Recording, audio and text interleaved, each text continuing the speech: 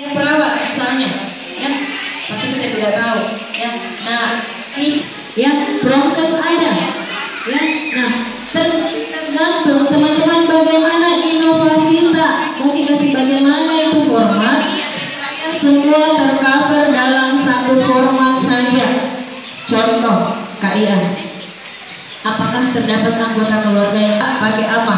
Ya langsung tulis di sampingnya atau di belakangnya ada kertas kosong. Ya tanya lagi.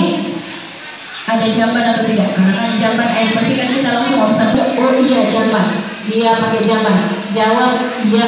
Ya kemudian tulis di belakangnya jambannya saniter dalam kurung cemplung ya atau pelengsengan ya. Air bersihnya ya. Tulis lagi ya ada sarana air bersih. Tulis lagi di belakang. Prokesnya dari teman-teman ya mau